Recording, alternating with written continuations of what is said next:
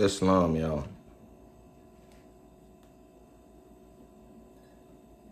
Shalom alaikum.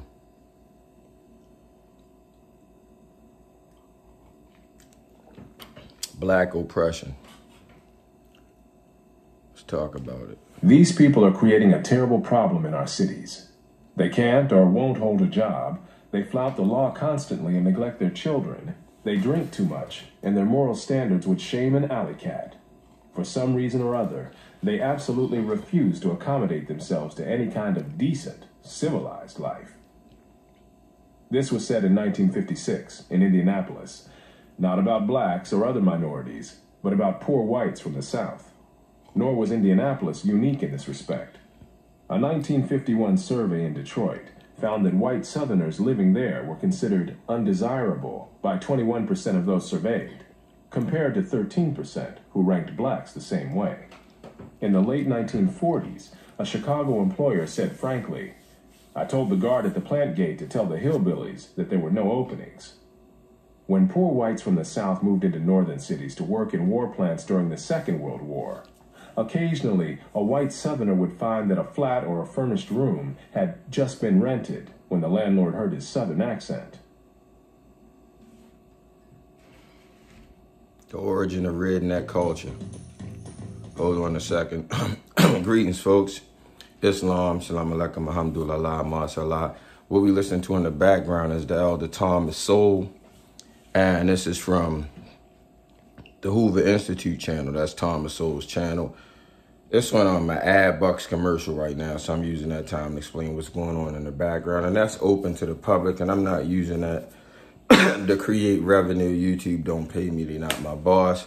So they can't tell me how to express myself, my First Amendment right and I'm sharing something that's already public, all right? So this is how law works. If you don't establish who and what you are, somebody will assume and establish it for you. This is how you lose all your God-given rights. So let me start this back up. Come on now. Black oppression in America. More is involved here than That's a mere parallel between blacks and southern whites. What is involved is a common subculture that goes back for centuries which has encompassed everything from ways of talking to attitudes toward education, violence, and sex, and which originated not in the South, but in those parts of the British Isles from which white Southerners came. That culture long ago died out where it originated in Britain, while surviving in the American South. Then it largely died out among both white and black Southerners, while still surviving today in the poorest and worst of the urban black ghettos. It is not uncommon for a culture to survive longer where it is transplanted and to retain characteristics lost in its place of origin. The French spoken in Quebec and the Spanish spoken in Mexico contain words and phrases that have long since become archaic in France and Spain. Regional German dialects persisted among Germans living in the United States after those dialects had begun to die out in Germany itself. A scholar specializing in the history of the South has likewise noted among white Southerners archaic word forms, while another scholar has pointed out the continued use in that region of terms that were familiar at the time of the first Queen Elizabeth. The card game whist is today played almost exclusively by blacks, especially low-income blacks, though in the 18th century it was played by the British upper classes and has since then evolved into bridge. The history of the evolution of this game is indicative of a much broader pattern of cultural evolution in much more weighty things.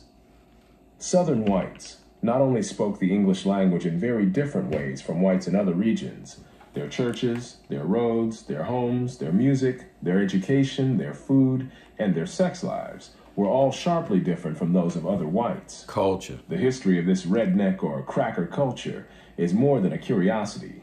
It has contemporary significance because of its influence on the economic and social evolution of vast numbers of people millions of blacks and whites, and its continuing influence on the lives and deaths of a residual population in America's black ghettos, which has still not completely escaped from that culture. From early in American history, foreign visitors and domestic travelers alike were struck by cultural contrasts between the white population of the South and that of the rest of the country in general, and of New England in particular. In the early 19th century, Alexis de Tocqueville contrasted white Southerners with white Northerners in his classic Democracy in America. And Frederick Law Olmsted did the same later in his books about his travels through the antebellum South, notably Cotton Kingdom. Hmm. De Tocqueville set a pattern when he concluded that almost all the differences which may be noticed between the Americans in the southern and in the northern states have originated in slavery. Olmsted likewise attributed the differences between white Southerners and white Northerners to the existence of slavery in the South. So did widely read antebellum Southern writer Hinton Helper, who declared that slavery, and nothing but slavery, has retarded the progress and prosperity of our portion of the Union. That's what liberals think. Just as they explained regional differences between whites by slavery, so many others in a later era would explain differences between blacks and whites nationwide by slavery. Blamed it on slavery. Plausible as these explanations may seem in both cases, they will not stand up under a closer scrutiny of history. It is perhaps understandable that the great overwhelming moral curse of slavery has presented a tempting causal explanation of the peculiar subculture of Southern whites, mm-hmm. as well as that of blacks. Yet this same subculture had existed among Southern whites and their ancestors in those parts of the British Isles from which they came, long before they had ever seen a black slave. the nature of this subculture, among people who came were called rednecks and crackers in Britain before they ever saw America, needs to be explored before turning to the question of its current status among ghetto blacks and how developments in the larger society have affected its evolution. Emigration from Britain like other migrations around the world, was not random in either its origins or its destinations. Most of the Britons who migrated to colonial Massachusetts, for example, came from within a 60 mile radius of the town of Haverhill in East Anglia. The Virginia aristocracy came from different localities in southern and western England. Most of the common white people of the South came from the northern borderlands of England. Are catching it? For centuries, a no man's land between Scotland and England, as well as from the Scottish Highlands and from Ulster County, Ireland. All these fringe areas were turbulent, if not lawless, regions, where none of the contending forces was able to establish full control and create a stable order. Whether called a Celtic fringe or North Britons, these were people from outside the cultural heartland of England, as their Culture. behavior on both sides of the Atlantic Not showed. race, y'all. Before the era of modern transportation and communication, Sharp regional differences were both common and persistent. In some of the counties of colonial Virginia, from nearly three quarters to four fifths of the people came from northern Britain, and similar proportions were found in some of the counties of Kentucky and Tennessee, as well as in parts of both the Carolinas. Although they predominated in many parts of the South, such people also had some northern enclaves in colonial America, notably western Pennsylvania, where Ulster Scots settled what is at least equally important as where Mountains. particular people settled is when they emigrated from the borderlands, Ulster, and the Scottish Highlands. Scotland, in particular, progressed enormously in the 18th century. The level from which it began may be indicated by the fact that a visitor to late 18th century Edinburgh found it noteworthy that its residents no longer threw sewage from their chamber pots out their windows into the street, something that passers-by had long had to be alert for to mm. avoid being splattered. Ew. Such crude and unsanitary living had long been characteristic of earlier times, when rural Scots lived in Nigga the same shit. primitive shelters with their animals. Nigga shit. abounded. But they white. A similar lack of concern with cleanliness was found among others in the borderlands of Britain and among their descendants on the other side of the Atlantic mm-hmm. in the antebellum South. For example, a 19th century politician built up a political machine in the poor white districts of Mississippi by such practices as this. He did not resort to any conventional tactics of kissing dirty babies, but he pleased mothers and fathers in log cabins by taking their children upon his lap and searching for red bugs, lice, and other vermin. Back in the British Isles, the life of the Scottish people was transformed dramatically from the masses to the elites as they advanced from being one of the least educated to one of the most educated peoples in Europe. However, what is significant they chose to change. is that much of the migration to the American South occurred before these sweeping social transformations. This timing was crucial, as Professor Grady McWhiney has pointed out in his book, Cracker Culture. Had the South been peopled by 19th century Scots, Welshmen, and Ulstermen, the course of Southern history would doubtless have been radically different, 19th century Scottish and Scotch Irish immigrants did in fact fit quite comfortably into Northern American society. Significantly, the Irish, who retained their Celtic ways, did not. But only a trickle of the flood of 19th century immigrants came into the South. The ancestors of the vast majority of Southerners arrived in America before the Anglicization of Scotland, mm. Wales, and Ulster had advanced very far. In earlier centuries, Scotland was a poor and backward country, like Wales and Ireland, and like the turbulent northern borderlands of England, where the Scots and the English fought wars and committed atrocities against each other for centuries. White people. Local feuding clans and freebooting marauders kept this region in an uproar. Race. Even when there were no military hostilities new, between the English and Scottish kingdoms. Political tool. Ulster County had a different kind of turbulence, as the English and Scottish settlers there encountered the hostility and terrorist activities of the conquered, dispossessed, and embittered indigenous Irish population. White people. These were the parts of Britain from which most people migrated if to the you American believe in South. Race. Before the political and cultural unification of the British Isles, or the standardization of the English language. The rednecks of these regions were what one social historian has called some of the most disorderly inhabitants of a deeply disordered land. The rednecks of these regions I'm not gonna play like that. I wasn't taken in by the whole race card thing as well. And what's so crazy about it is I consider myself intelligent, right? Like we all think we not a part of it. We all read the story like we not in the book, like we sitting back, and that that's what the cheat code is really about. not actually being in a story, and it takes some doing other than you just imagining you not in the story. Let me put that in real time because most people that play ball all their life, pretty much, you might take breaks when you're younger, right? Go back athletically, you can pick it right back up. That mind state never leave a man, right? Until he get out there in the court and and realize you can't just think. You know what I'm saying? There's no just thinking it. Something's got to be done. You don't retain shit without. So this whole thing about race, like I worked in Columbia, Maryland for shit a while. And Columbia, Maryland was set up with the grift in mind or grooming, even though it was grooming, it, it was, it can go, what they tried to do with racial harmony, it was a good idea, but it was a bad idea because there's no such thing as race. It's what we listening to now, culture. And they created these lines. Once you do that, that's it. Like the black and white lines are not good for anybody. Um, I can do my part to break the lines down because I did my part to build the lines up.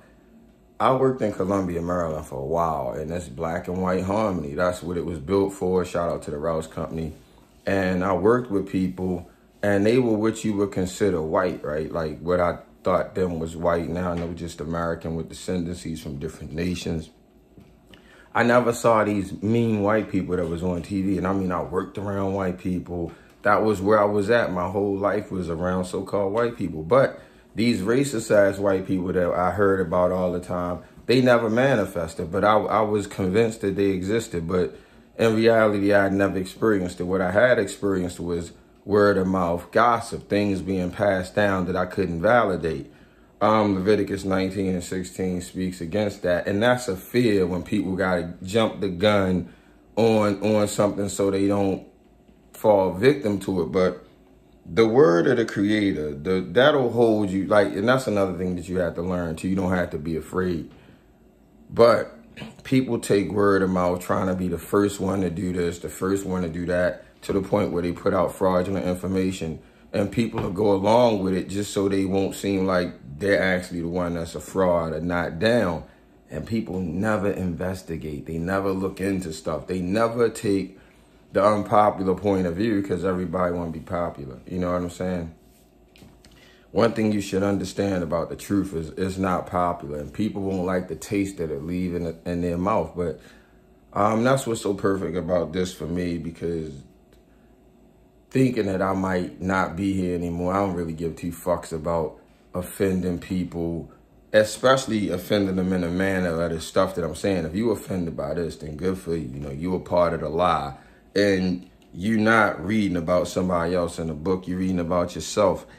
The cheat code is about taking yourself out the book. When I say these boundaries of man, be it their licensing agreement, any of it, their monuments, the way they interpret the word of God with man in mind is just beyond me how a people of God could go along with it unless you are a part of it. You can see out of your understanding, or I can see how. No, it's not for you to see how. It's, it's just to be obedient militant mind state. Everybody's talking about they're a soldier God and don't even know what the war is they're supposed to be fighting. Illiteracy is one of those things. This right here, information that's supposed to be passed down from one generation to the next, it get hijacked with greed, with idolatry, traditional shit that's just not there when when you challenge it. And I'm I'm gonna challenge. You know, if y'all have a problem with, with a challenge, it's probably because you support the lie. So let's get back to this truth, y'all. Or what one social historian has called some of the most disorderly inhabitants of a deeply disordered land. Not white blacks. In this world of impotent laws, daily dangers, and lives that could be snuffed out at any moment, the snatching at whatever fleeting pleasures presented themselves was at least understandable. Certainly prudence and long-range planning of one's life had no such payoff in this chaotic world, as in more settled and orderly societies under the protection of effective laws. Hmm. Books, businesses, technology, and science were not the kinds of things likely to be promoted or admired in the world of the rednecks and crackers. Manliness and the forceful projection of that manliness to others, and advertising of one's willingness to fight and even to put one's life on the line. Nigga shit. Were at least plausible means of gaining whatever measure of security was possible Same in shit. a lawless region and a violent time. The kinds of attitudes and cultural values produced by centuries of living under such conditions did not disappear very quickly, even when social evolution in North America slowly and almost imperceptibly created a new and different world with different objective prospects. Maryland homeowners, if you're tired of paying too much, ad bucks. Shout out to the Hoover Institute channel, Thomas Sowell TV for the information that we're listening to right now. Shout out to what y'all. What the rednecks or crackers brought with them across the ocean was a whole constellation of attitudes, values, and behavior patterns that might have made sense in the world in which they had lived for centuries, but which would prove to be counterproductive in the world to which they were going. Limited. Your behavior is limited. Not because you black, because it's not a desirable behavior for certain situations and has nothing to do but discrimination, more so taste or to the liking. But another group used that. They weaponized that to put fear in people that's ignorant, such as myself, took the whole thing about racing because I didn't take the thing about God. If if you stand the creator, if you stand under creation, it's hard to stand under man. Well, man and woman is the only thing we can we can stand under. And let me let me correct myself. If we men and women, then we can't be black, we can't be white. What you can be is from a region, what you can be is from a culture. Um, times past, you was just Greek, Roman, or whatever. It didn't matter whether your skin was anything. Didn't didn't matter. It was what you believe Uh, bloodlines didn't even matter because people were killing inside their bloodlines for different rules, nephews, cousins, um, it was more more about a behavior than anything else, you know. So it's always been a behavior and not a skin tone. They have pushed that here in the United States of America to make things political, so they can cater to a specific group. And generally, it's going to be the blacks because it's easiest to do it to you, you know. And it's so easy because emotion is the basis of all your logic. I say I'm not black I understand exactly what I'm saying. The people that call themselves black see it as a diss, a slap in the face. And instead of letting me be about my way and just saying, fuck them, don't play with this ball. No, they gonna force me oppressively to be black by shame or or muscle. Like, oh, you black just like the rest of us. Or fuck them up, or something like that. It's not, oh, you got a right to be who you are per Allah. No, you, you guys just drafted me into being black when I was ignorant, yeah, I was that, but I'm not. I know better. And I tell everybody who they are, and they think it's a me thing. I'm like, nah, you you openly accept the state telling you, or you signing in with the state because of tradition, because of your parents, because of what what their limits were. So most people see me or they cap me where their cap is. And I can understand that if it was just talk, but y'all that's been here, you know I'm more than just talk, you know, pretty much behind the camera. As as I'm talking about it, you know, people say show improve. It changed. Now it's just talk about it, talk about it, talk about it, and make somebody else prove to you while you haven't proven shit. You just disagree with the person. Um, I'm not interested in that. And that that got old fast. I don't even understand. Like, shout out to Sign at a TV. Um, years and years doing that that that thing, the back and forth thing, like, and his numbers are like I looked at this this guy, he used to get up there with the views. Live streams now, he like under under double digit viewers, and he got well, I think triple digit followers. I haven't even seen what his subscription is now, but it's ran its course, and it's ran its course because it's a lot of words. It's like sitcoms. The ages, the people gonna grow. It's gonna age out. And if it's not fruit, it ages out a lot quicker. So it's done. It's like anything could be a comet. You know, the sun is there forever. The sun will forever shine. Comets just streak. You know, stars or, or what, like this big. You don't, it's nothing intimate about it, but the sun, it's the truth. That's the true light. You know what I'm saying? We know that sun worldwide. Everybody don't know the sun. Everybody don't know the moon. Some places can't see that, but you know the daytime come because of what? You dig it? Hold on, y'all. Let me get back to this. And counterproductive to the blacks, who would live in their midst for centuries, productive in the world to which they were going. Rednecks. And counterproductive to the blacks, who would live in their midst for centuries before emerging into freedom and migrating to the great urban centers of the United States, taking with them similar values. The cultural values and social patterns prevalent among Southern whites included an aversion to work, proneness to violence, neglect of education, sexual promiscuity, improvidence, drunkenness, lack of entrepreneurship. Shout out to Mr. Mosley. Reckless searches for excitement. Clyde. Lively music and Mr. dance. Robert.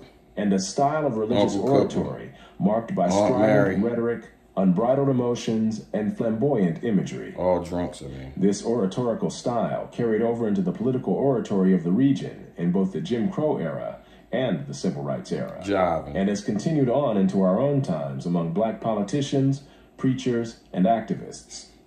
Touchy pride, vanity, and boastful self dramatization were also part of this redneck culture among people from regions of Britain where the civilization was the least developed.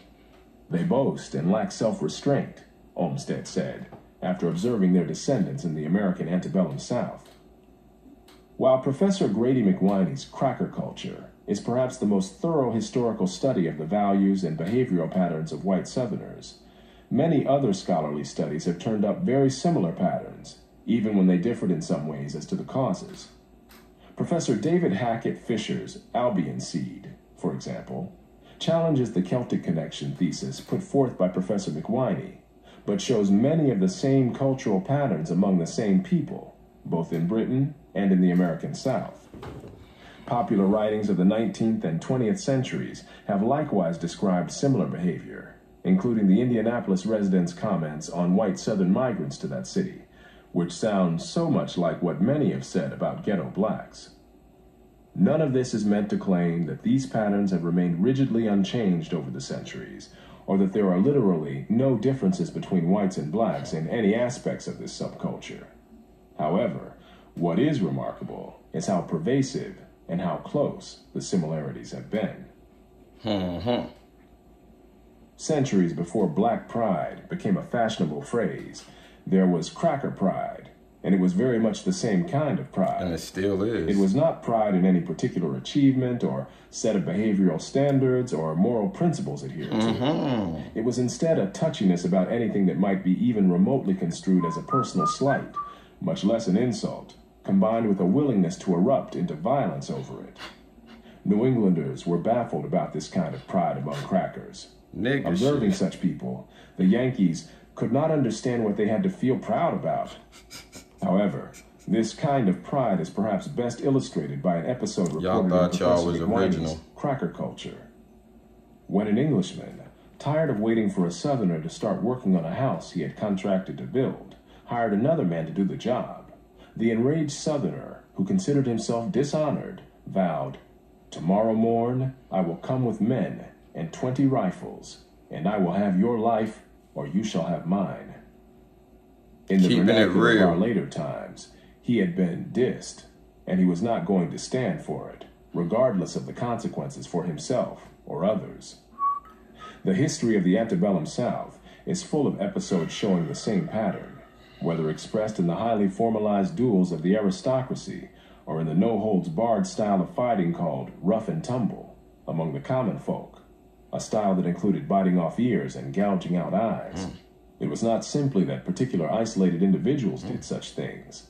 Social approval was given to these practices, as illustrated by this episode in the antebellum South. A crowd gathered and arranged itself in an impromptu ring. The contestants were asked if they wished to fight fair or rough and tumble. When they chose rough and tumble, a roar of approval rose from the multitude. Nigga shit. This particular fight ended with the loser's nose bitten off, his ears torn off, and both his eyes gouged out, after which the victor himself, maimed and bleeding, was chaired round the grounds Nigga to the cheers of the crowd. He kept it real. This rough and tumble style of fighting was also popular in the southern highlands of Scotland, where grabbing an opponent's testicles Highlands. and attempting to castrate him by hand was also Not an just- accepted practice. Not just Scotland, the Highlands. Scottish Highlanders were, in centuries past, part of the Celtic fringe, or North Britons, outside the orbit of English culture, not only as it existed in England, but also in the Scottish lowlands. The Highlanders lagged far behind the lowlanders in education and economic progress, Culture. as well as in the speaking of the English language. Culture. For Gaelic was still widely spoken by Highlanders in the 19th century, not only in Scotland itself, but also in North Carolina and in Australia, where immigrants from the Scottish Highlands were unable to communicate with English speaking people, including lowland Scots who had also immigrated. In the Hebrides Islands off Scotland, Gaelic had still not completely died out in the middle of the 20th century. What is important in Native the tongues. violence patterns among rednecks and crackers was not that particular people did particular things at particular times and places, nor is it necessary to attempt to quantify such behavior. What is crucial is that violence growing out of such pride had social approval. As Professor McWhiney pointed out, men often killed and went free in the South, just as in earlier times they had in Ireland and Scotland. As one observer in the South noted, enemies would meet, exchange insults, and one would shoot the other down, professing that he had acted in self defense because shit. he believed the victim was armed. When such a story was told in court, early police. in a community where it is not a strange thing for men to carry about their persons deadly weapons, each member of the jury like feels that he would have done the same thing under similar circumstances. Real nigga shit. So that in condemning him, they would but condemn themselves. Judge not lest ye The be actions of. Southern courts often amazed outsiders, Professor McWhiney said. Law. But what may be even more revealing of widespread attitudes were the cases that never even went to trial. As another study of white Southerners put it, to many rural Southerners, rather than a set of legal statutes, justice remained a matter of societal norms allowing for Look, y'all. See, this is what I'm saying. The extremes with stuff because they had it right to a certain degree. You know, sometimes it takes a certain degree of ignorance or barbarianism to straighten shit out. So while they had it right with uh, look, I'm gonna get judged by this same pattern. Like, what would you do? Would you just allow this to happen? And any man, recently, this old man, um, I believe his name was Jose Alba, and NYC or Philadelphia stabbed a man to death that came in a bodega and started beating up on him because uh, that man's girlfriend came in there with their daughter a little early and her EBT card got declined, right? And so her story was the old man snatched the bag out of her little girl's hand. So she called her boyfriend named Simon, such and such or whatever. and Simon came in, and this video of Simon like pushing old man down into like a rack of potato chips, and old man stayed there, just sitting there for a minute. And then he tried to get up, and the guy grabbed him around the neck. And the next thing you know, you see blood on that guy's hand that grabbed the old man around the neck. They had a knife in the bodega, and he stabbed that guy like five times. He hit him, hit him in the neck, and they arrested this old man and charged him with um murder. You know what I'm saying? They charged him with with murder. They, since then, they released him and charged him with second degree something. But to be charged at all, y'all, y'all understand what I'm saying? To defend yourself, and that's that's the the political part. We got to make it look good, like they really in control, and we don't need that. Like that's that's the bullshit that the North and South uh, beefed about. That kind of shit, and the slavery. The the North used that as a political theme as well they didn't give a shit about slaves in, in all actuality. They was trying to get public opinion on their side. So Lincoln Lincoln did whatever the fuck he needed to do politically. Some Joe Biden shit, but they pushed Lincoln as the emancipator of blacks and he loved you niggas and all that shit. And you buy it because it's it's um it's palatable and it don't cost them nothing. It costs you everything. You know what I'm saying? The indigenous people who claim that they from Africa, and if I put you to the test, it'll be a bunch of lies that your grandma or somebody else lied about, and it's a shame, like what people do to feel, to feel any any any more special than the Creator made us to be. That's the thing about being more than man and woman. You take your value and oh. I got a chick from the Barbados. I got a, a I hear this stuff. I heard it in songs yesterday and that's the value system. I got a sweet little mommy from such and such and such. Well, I got a wife. I got a munch from right here uh, next to where I live at. And I put her up against any of these. You got them from anywhere. You know, we 30 years in. I know your, your music video is nice and you got a mommy. And I don't, I don't remember seeing any of those dudes on those videos married to any of those mommies in those videos none of that stuff. Years later, the videos that we used to watch, I don't see none of you dudes with those chicks that y'all had in them, right? So my, I was, I was with the same woman while y'all was popping and bubbling the cars, and I'm still, you know, like maintaining, doing decent. I, I didn't take a step backwards. I had what I needed the whole time, and um, y'all don't have the same stuff. You know what I'm saying? People while life wasn't just that moment, like y'all, you dig it? They talk about it being a marathon and and talking slick and rap verses, but in actuality, it, it is that, and people get caught up and it's, it used to be my day. I'm like, well, it still can't be my day. I'm alive now. Anyway, y'all, let me put this back on. I'm playing the shit out this game, trying not to get out. I'm I'm move. Oh, damn, there it is. All right, my bad. I'm sorry, folks. I'm in here making a video. We'll be 33 minutes in. I'm ahead of time, too, because I wanted it to be about an hour. Hopefully, um, from this, y'all can branch out and find out more information. Shit, drop some information for me. But if you don't like it, um, that's cool, too. That's natural. It's human nature not to agree with everybody. But what I learned with Torah is fuck you when I don't like you. You know what I'm saying? And I don't have to say it to your face because it ain't really going to change anything in your life. But I know, again, shout out to Sign That a TV. Shout out to this debate league, that debate league. Shout out to all the brothers that ever participated under the umbrella of consciousness, under the umbrella of religion or spirituality. Shout out to all of y'all because it's through y'all that I see my growth. I checked in on all y'all channels and y'all right at the same place, still fighting and beefing with each other. Y'all claiming Allah here, y'all claiming Yahushua, whoever is, and, and y'all don't get it. Like y'all character ain't, ain't of any of it. Whatever y'all pretending that y'all are, it's not. Y'all can't separate yourselves from that. It's something that's pulling y'all. Y'all spirits ain't right. You controlled by something.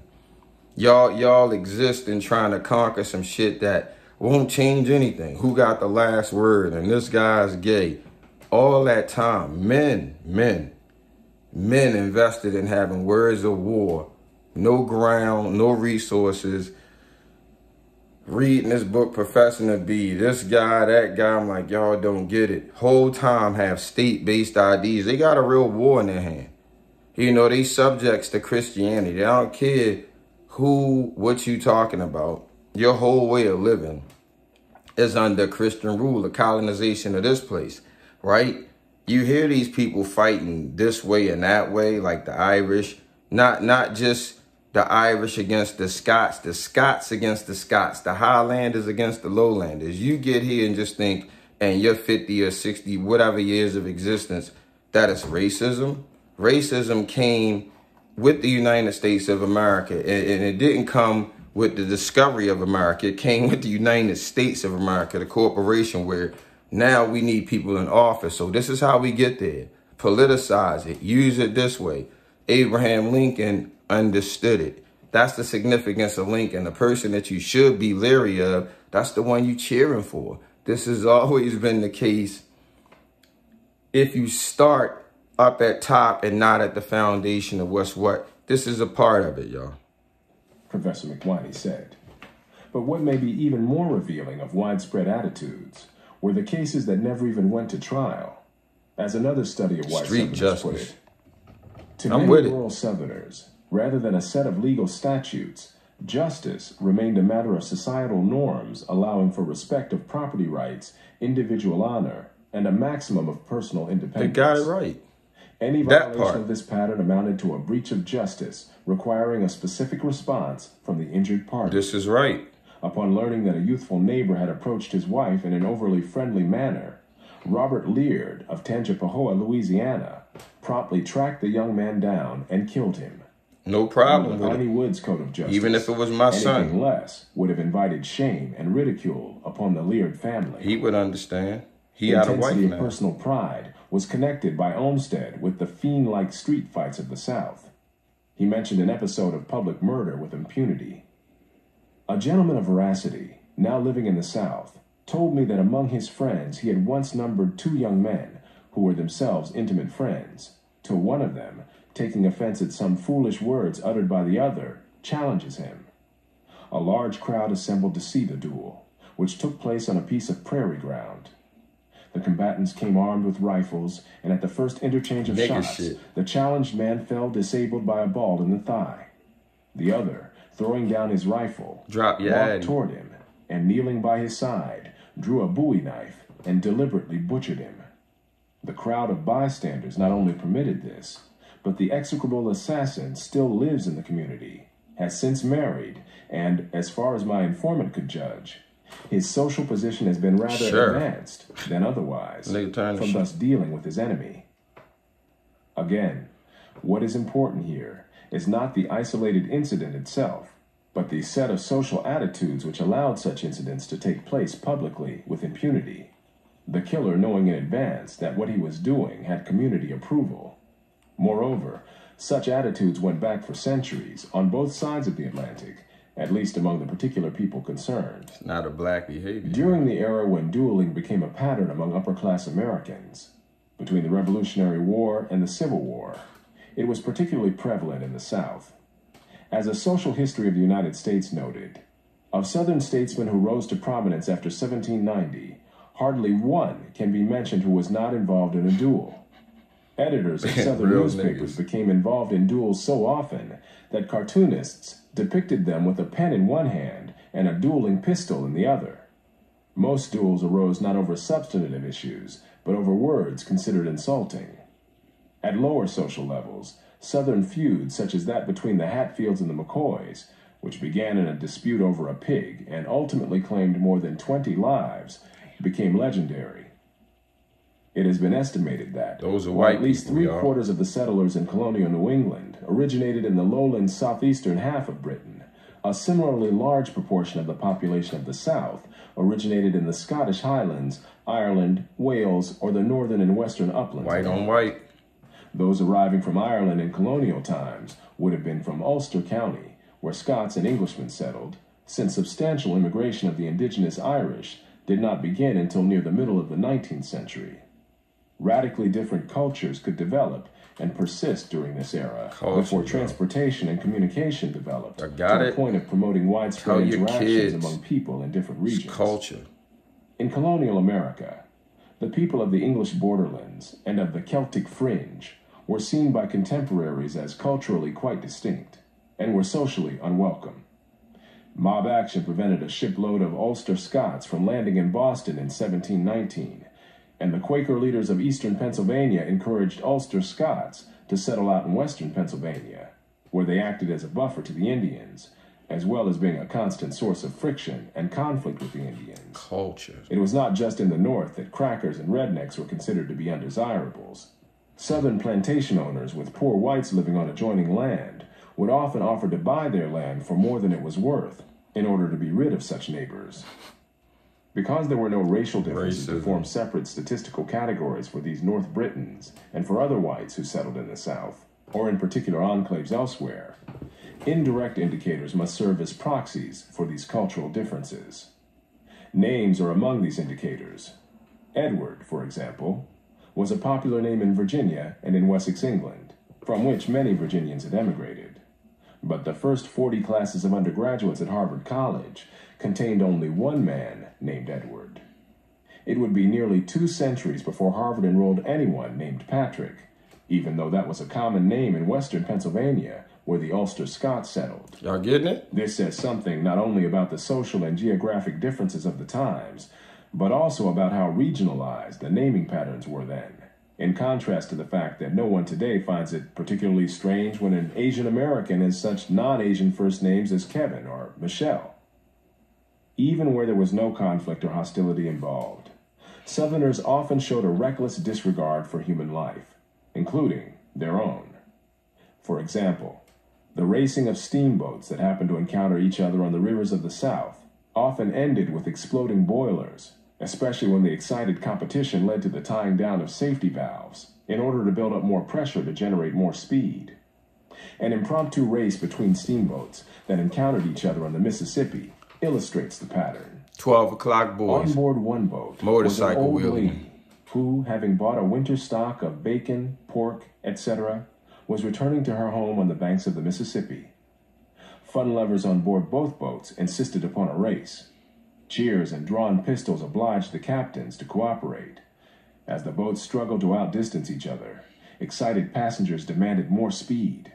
Despite every effort, the boats raced evenly until the old lady directed her slaves to throw all her casks of bacon into the boilers.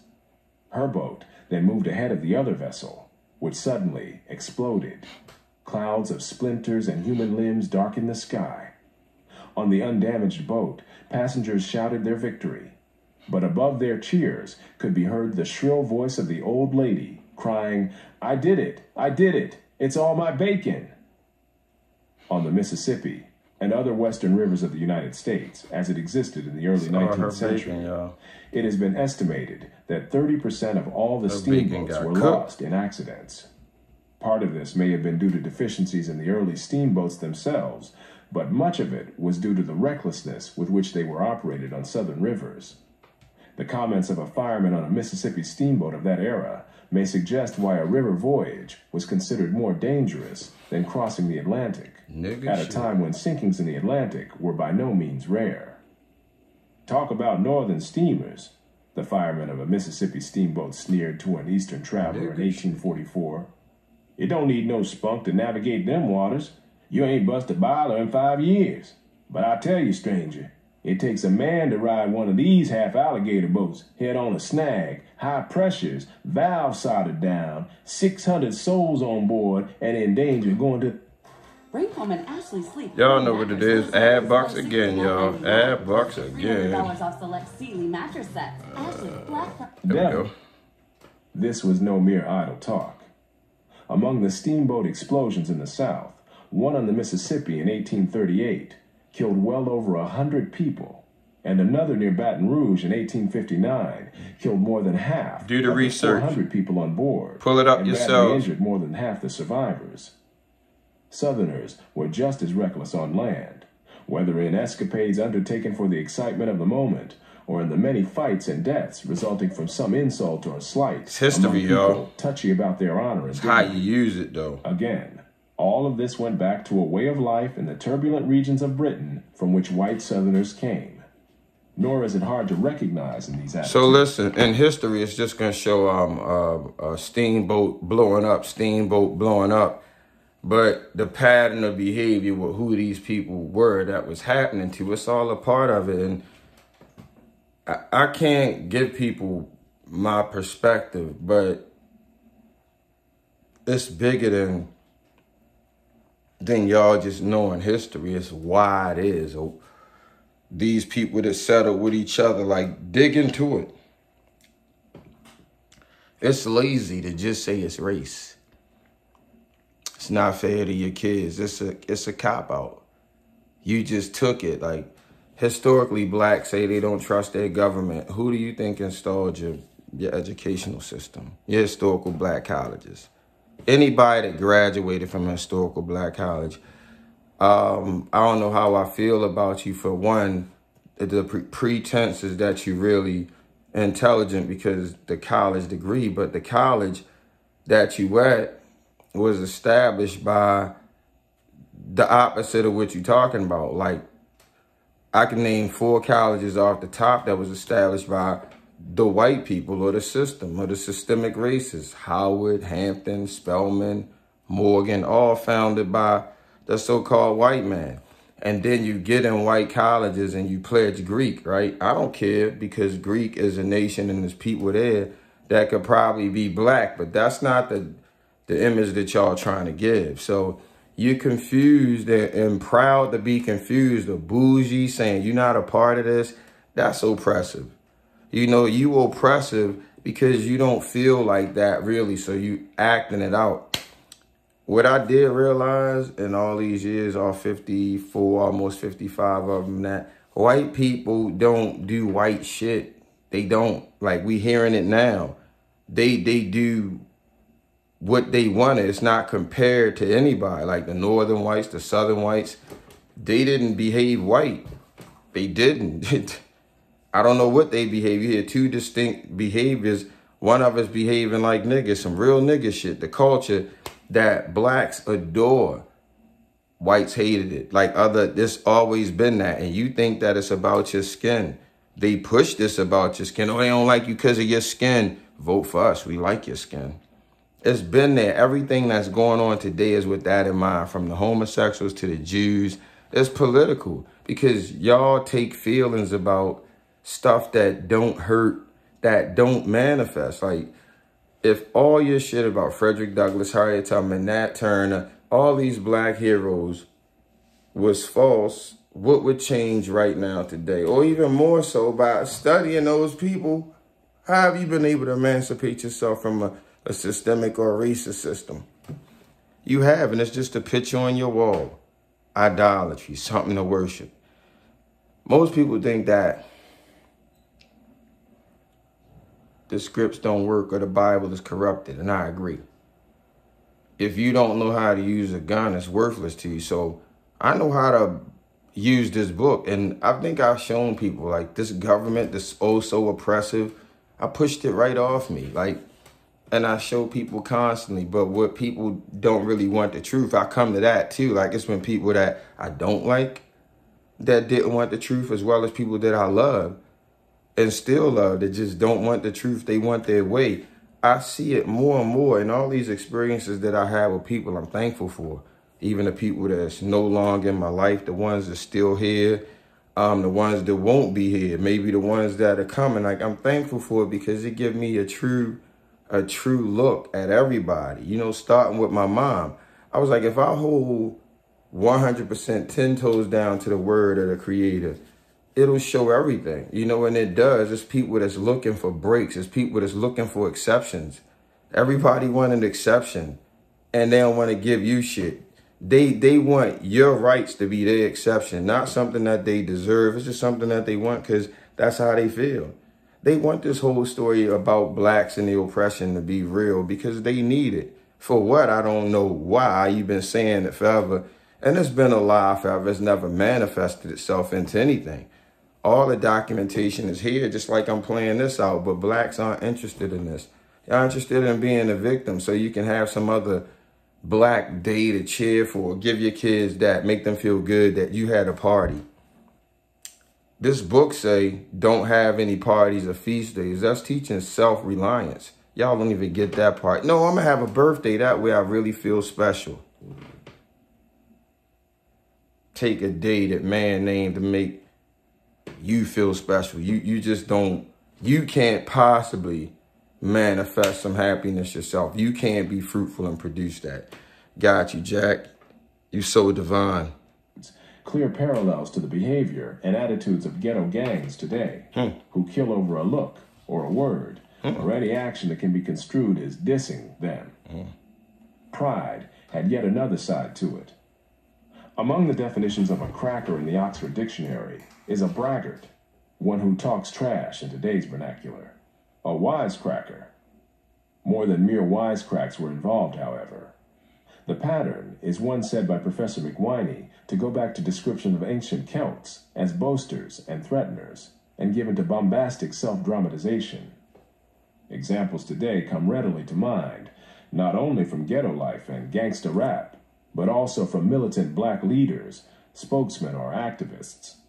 What is painfully ironic is that such attitudes and behavior are projected today as aspects of a distinctive black identity, when in fact, they are part of a centuries old pattern among the whites in whose midst generations of blacks lived in the South. Mm.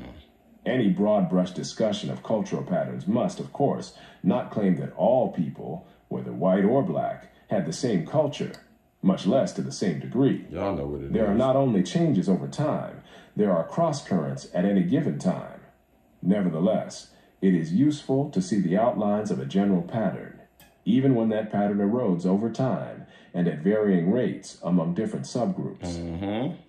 The violence for which white Southerners became most lastingly notorious was lynching. Like other aspects of the redneck and cracker culture, it has often been attributed to race or slavery. In fact, however, most lynching victims in the antebellum South were white. Economic considerations alone would prevent a slave owner from lynching his own slave or tolerating anyone else's doing so. It was only after the Civil War that the emancipated blacks became the principal targets of lynching. But by then, Southern vigilante violence had been a tradition for more than a century in North America, and even longer back in the regions of Britain. And it wasn't just against blacks, y'all where retributive justice was often left in private hands. Even the burning cross of the Ku Klux Klan has been traced back to the fiery cross of Old Scotland, used by feuding clans. Observers of the white population of the antebellum South often commented not only on their poverty, but also on their lack of industriousness or entrepreneurship.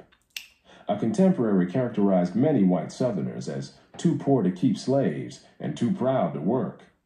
A landmark history of agriculture in the antebellum South described the poor whites this way. They cultivated in a casual and careless fashion small patches of corn or rice, sweet potatoes, cowpeas, and garden products. Women and children did a large part of the work.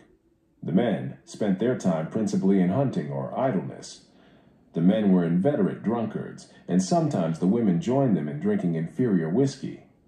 Licentiousness was prevalent among them. Among their equals, the men were quarrelsome and inclined to crimes of violence. The poor whites were densely ignorant. Their labors tended to be intermittent, often when they were pressed for money rather than a steady employment career. Frederick Law Olmsted called it lazy poverty with whatever work they did being done in a thoughtless manner. Summarizing his observations in the antebellum South, Olmsted said, I know that while men seldom want an abundance of coarse food in the cotton states, the proportion of the free white men who live as well in any aspect as our working classes in the North, on an average, is small, and that the citizens of the cotton states, as a whole, are poor. They work little, and that little, badly. They earn little, they sell little, they buy little, and they have little, very little, of the common comforts and consolations of civilized life. Their destitution is not material only, it is intellectual and it is moral.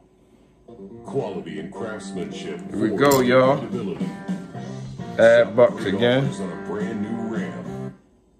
When Olmsted found work done efficiently, promptly, and well during his travels through the South, when he found well run businesses, good libraries, impressive churches, and efficiently functioning institutions in general, he almost invariably found them to be run by Northerners, foreigners, or Jews. Nor was he the only visiting observer to reach such conclusions. Another observed that nearly all of the Old South's successful storekeepers were either Yankees or Yankee trained Southerners. In your communities. Said That when you saw a plantation in better condition than others, you would often discover that it was owned by someone from the North. A history of Southern agriculture presented this picture of North Carolina in the early 18th century. It's like black owned businesses. Many of the inhabitants were rough borderers who lived a crude, half savage existence. Some were herdsmen, dependent mainly on the product of the range and under the necessity of eating meat without bread. There were also many thriftless and lazy families who had been attracted to the country by the mild climate sure. and the ease with which a bare livelihood could be obtained by hunting and fishing, raising a little corn and keeping a few head of swine, and possibly a cow or two on the range. On the other hand, there were small farmers, many of northern or European extraction, living industrious and thrifty lives amidst a rude abundance and considerable diversity of food supplies they maintained good sized herds of cattle, swine, and sheep, and the women made butter and cheese. Mm. Borderers, at that point, would refer to people from minutes. the borderlands of Britain, those included in what Professor McWhiney and others have called the Celtic Fringe, and what Professor Fischer called North Britons. While the making of butter and cheese might seem to be an unremarkable activity in most rural communities, butter and cheese making by these farmers of non Southerner origins was in fact exceptional in the South. One of Frederick Law Olmsted's complaints during his travels through the antebellum South was the scarcity of butter, despite all the cows he saw. Even among plantation owners, he said, as for butter, some have heard of it, some have seen it, but few have eaten it. Hard data support his conclusions about the scarcity of butter in the antebellum South, despite an abundance of cows. In 1860, the South had 40% of all the dairy cows in the country, but produced just 20% of the butter and only 1% of the cheese. Let me let me go something someplace else right now to um, give y'all a little comparison. And of course, y'all know I'm going to the brother. Uh oh, I think I got an issue here, y'all. We moving kind of slow. Let me put the charge in. The phone is acting like it want to die. Okay. All right. I brought it back to life. I want to check in with um, another elder to put this on point, to put this in proper perspective. This is the elder Malcolm, and this is following up with all the cows that these rednecks actually own. They have 40% of that where they were, yet they were destitute. Look at this. White immigrants can come to this country 50 years ago with Let me start. Let me start again. Now, don't don't just hear white immigrants. Remember, it's two different kinds of white people, right? And just use what we where we at, like what's in front of them, what they have at their disposal versus what they got from it. Check it out. White immigrants can come to this country 50 years ago with nickels and dimes and no education, and come here and pool their little nickels and dimes and more education, into, and set up little stores, develop these stores into larger stores, develop this into an industry which creates job opportunities for whites. Since Lincoln was supposed to have freed the black man 100 years ago, mm-hmm. and today the black man, according to the government economist, has spending power of $20 billion per year. We feel that with the black man spending $20 billion a year, not setting up any businesses, not creating any industry, not creating any job opportunities for his own kind, he's not in a moral position to point the finger today at the white man and tell the white man that he's discriminating against him for not giving him a job in factories that he has he himself set up. Makes sense. If the black man has twenty billion dollars and these so-called Negro leaders got the cows that they can integrate white restaurants and integrate white factories and integrate, force themselves into that which the white man has set up, they should use this same ingenuity to show the black people how to pool our wealth and set up something of our own. And then we won't Make sense? That makes sense to me. And all this complaining about this white oppression, white oppression. This is in 1965. Malcolm didn't make it out of the 60s, mind you. Um, Lincoln freed the slaves in 1865.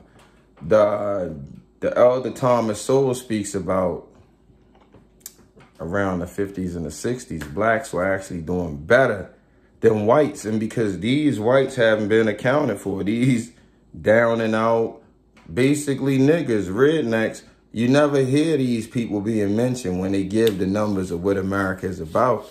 Like they don't exist. They're here. And you hear the story of the whites that you love or that trick you into loving them. You want to hear that, oh, the blacks are down and out. The blacks have been down and out. That's not what Malcolm is saying. This is in the 60s. 1965, y'all. If I may add, your mention of white immigrants just coming here proves the uh, inability of Negroes to solve this problem by the present course or the past course that they've been taking. Well, it's true. Italians, French, Spanish, and others came here as immigrants, uneducated, poverty-stricken and their parents were able to open up stores, little stores. They lived in the back, sent their children to school. Their children studied business and came back Went and expanded the businesses. and most reason. businesses in the white community today are called so-and-so brothers, so-and-so and sons, so forth. This is how you establish what you call not just to go. Somewhat, uh, speaking on the run.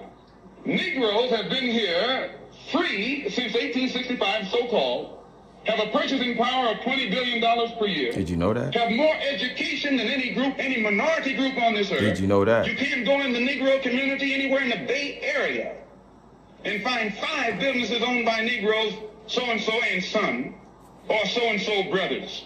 The, the, mistake that we made differs from the uh, mistake you didn't make. Your parents solve your problems economically of their own volition with their own ingenuity. Our leaders have done nothing to teach us how to run business. They've done nothing to teach us how to elevate the level of our schools. They've done nothing to teach us how to keep up the standard of our community. It is not the masses of black people who are at fault for this. It's this Negro puppet that the white liberal has set over the Negro community to act as our leader and act as our spokesman who has failed to show us how to solve our own problems so we remain crippled Okay, so basically you still sitting in these problems that you've had since back when, right? That's where we at. Let me um check back in. Let's get some. Where my history at? Where it's at? Where it's at?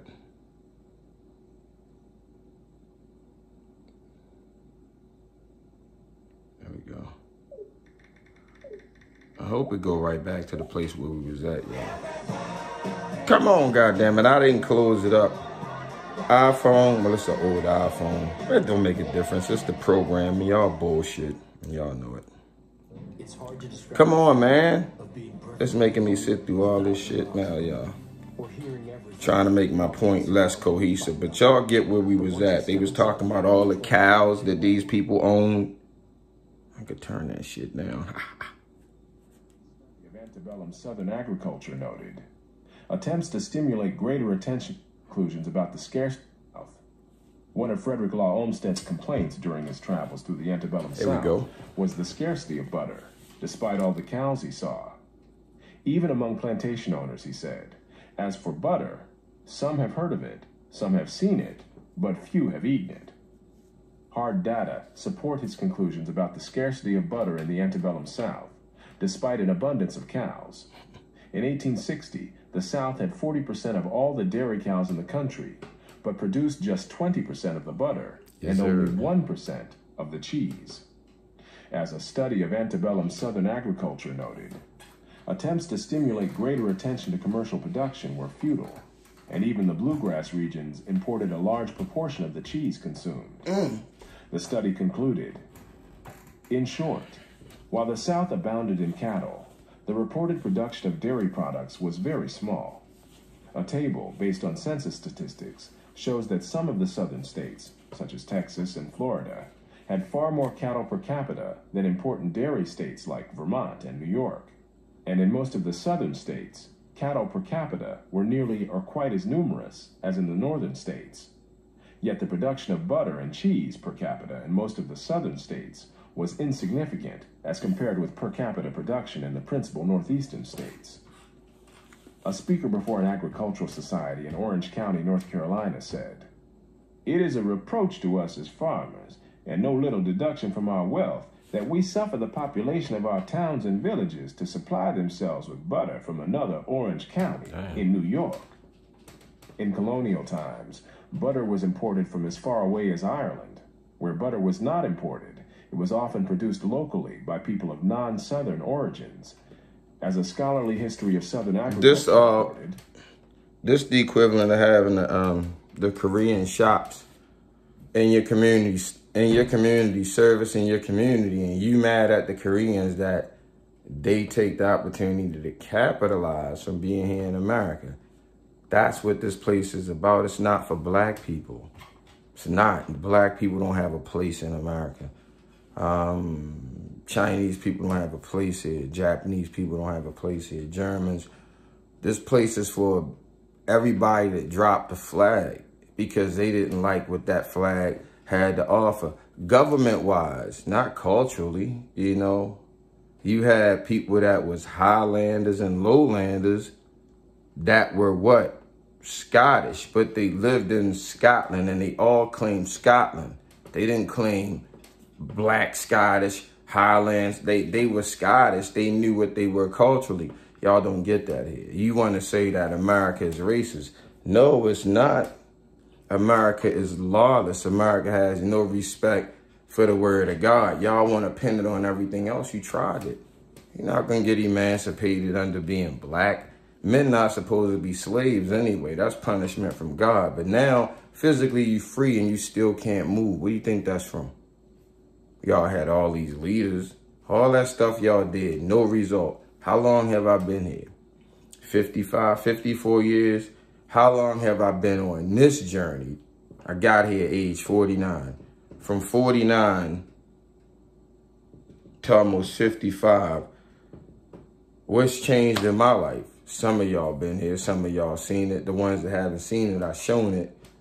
This is what I've come to understand, not what's been taught to me for generation and generation or whatever and didn't have any fruit. So when I denounced and dropped all this shit the society built up in me, then I could start seeing clear. Some of y'all love it and you you act like you don't. Everything about it is what you govern yourself on.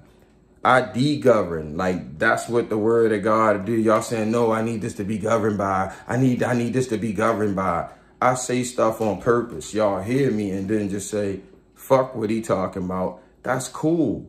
Then you prove something different.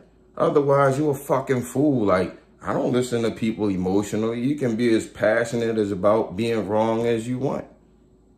You're wrong. You can be arrogant and you're wrong. I don't care. I'm arrogant too. But I'm right. And I'm right because I've shown I'm right. Not because I want to be right, because I'm Evan, I'm big, I'm this, I got more guns. That don't make you right. You know it. You could shoot somebody dead and be wrong as fuck. You still wrong. That's the premise what I live on. And the people in my life know that about me. I don't have to change that. They gravitate towards that about me. So I have everybody in my life that I need based on me being Evan. That's what the creator supply me with. And those people in need of Evan in their life. You know, so it's easy to push motherfuckers away with the truth now. It's a lot more peaceful life everybody that's following or that that come to the channels because they come to hear information that they may not have known and they willing to take it in and use it to be fruitful you know in the comments if y'all saying anything opposite to what i'm saying like you have to ask yourself why you have to ask yourself why i matter what what's it hurt again i shouted out sign at a tv because i used to follow that bullshit every day and uh, recently, I just stopped back past, like I said, and saw that shit. I'm like, thank you, Sinetta, for not fucking with me the way you did, or having the creator put whatever. And his thing is the most high ain't shit, like the whole nine yards. And and I understand that now. The people that was on there banging against the Hebrew Israelites, they 100% right, correct about it being fabricated. You know, they were the Shaka almost, the Garfields, the Reggies. They were right. But they were also wrong about the whole African thing because that's lies just as much as the Hebrew diaspora shit is made up. So they took one lie and destroyed another one. They was going to hold on to their lie. Let me say it's like this. No graven images. Not just slave masters. No graven images. Harriet Tubman. So these niggas will be like, oh, fuck the white statues.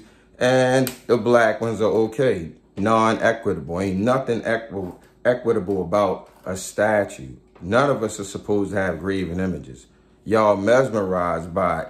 We can't trust people that's trying to explain why a building, a fucking brick building has significance. Other than providing shelter from outside, get the fuck out my face, dog. So this is the creator, the divinity, breaking down all that shit that y'all build up on your mansions, your yard. I don't give a fuck about it. You ain't using it to house nobody or give anybody else. That's for you. That suit you. You not special. Don't matter how much fucking money you got. You know, if you going through the state of somebody to say, hey, I'm going to help that way, you phony as shit. I don't even like the homeless. You know, I know they homeless for a reason, but I also know what the creator said. I also, you won't see me giving shit, but that's a part of Torah. So I'm going to say that's what's happening. If I'm lying, Y'all can't punish me. It ain't one of y'all got the power to give me cancer. None of y'all. That's that's how I take man and what they feel about me. I'm like, what you gonna get mad? Wish some shit on me? Wish it on me. See how it work out. See if it pop back up in your life. That's the certainty that I have with Allah. While y'all walking around trying to figure shit out because man got y'all confused. I'm like, I don't need man to know who and what I am and I actually share that through bits and pieces of stuff just like this. This is tangible. This isn't something that's spiritual, but stuff like this prove that people not spiritual. You can't change. You can't overcome emotions to take in facts because you have a destination that you got planned already, right? You're going to be the best. Be that. That has nothing to do with your behavior per God. You know, you could you could be whatever and still keep the morality. It don't get in the way of that unless your your job is something outside the line what the creator deemed orderly for society and most people don't know. You haven't read enough. Word of mouth tradition, Frederick Douglass, Harriet Tubman, Nat Turner, all that shit is fake, fraudulent, and it didn't exist. And if y'all saying it did exist, then tell me why. Tell me how it existed. Because those are just names to me. If they didn't change history, if they didn't change the future, whatever, they don't mean anything. More fucking idolatry. So fuck Frederick. Fuck Marcus. Fuck all of those messiahs that they gave you to pray upon and say, if only they were here, we could change it. But where was they at when I when I was proceeding to change? No driver's license, no taxes. So where were they at? Did I did I say in the name of Frederick Douglass? Ah, didn't. So this oppression that y'all talk about, this systemic racism, it's all up here. Every kind of way you can imagine. It's up here, all right? So peace. Shalom alaikum, alhamdulillah, mashallah. Uh, I'll pick up where this is the origin of black American culture and Ebonics by um, Thomas Sowell. It's on Thomas Sowell TV. Check that out as well as other things. It's y'all job, man. Why y'all mad if white people were oppressive for oppressing you? Like, if you can explain it, shouldn't you be able to change it? And you've been explaining it since the 60s. It's no change now. With, with all the information you know, every fucking excuse-making so-called intelligent black keeps saying, oh, they tricked us, they tricked us. Blacks with platforms, they tricked us, they tricked us. Well, why don't y'all show them what the trick is? So they can stop the fucking abracadabra. And you can put the hocus pocus on your fucking focus. Peace, y'all.